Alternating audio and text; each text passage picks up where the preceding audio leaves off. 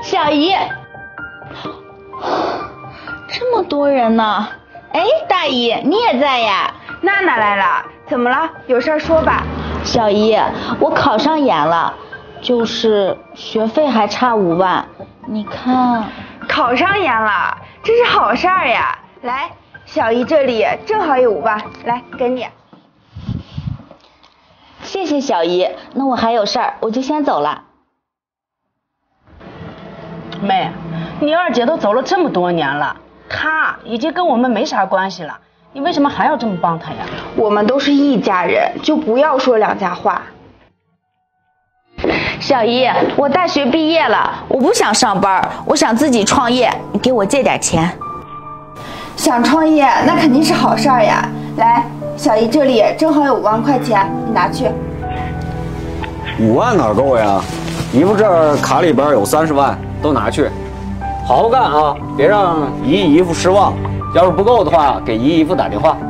谢谢小姨，谢谢小姨夫，我这钱一定会还给你们的，我也一定不会让你们失望的。那我还有事儿，我就先走了。还？你还真相信他的鬼话呀？你现在把钱都借给他了，以后你出现问题了，帮你的还不是我吗？真是里外不分。大姐，你怎么能说这样的话呢？我们都是一家人，该帮呀还得帮。行行行，小妹，你的事儿我也管不了。对了，小妹，上次我跟你说地皮的事儿，姐还差一百万，你看，我都给你准备好了。来，我这张卡里有五十万，剩下的五十万明天转给你。谢谢小妹，明天呀一定要记得转给我。以后呀有什么事情你要第一时间告诉我，我一定第一时间到。小妹，妹夫，那我还有事儿，我先走了。老婆，你看咱这新公司马上就要开业了，你打算交给谁打理？我看要不就交给大姐来管理吧。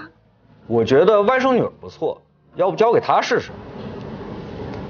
嗯，要不我们测试他们一下，看看哪个更有能力。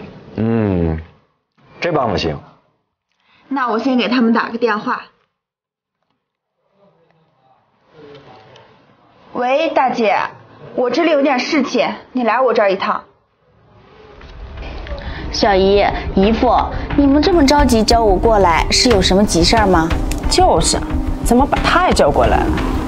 嗯，是这样啊，我最近刚投资了一个项目，资金比较短缺，所以我想管你们两个借点钱，看看你们能不能帮我度过一下难关。什么？你找我借钱呐？你也知道，小妹，我把钱全投资在地皮上面了。我也很想帮你，可是实在是没有办法呀。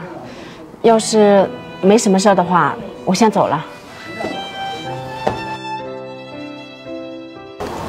哎，娜娜，你怎么不走啊？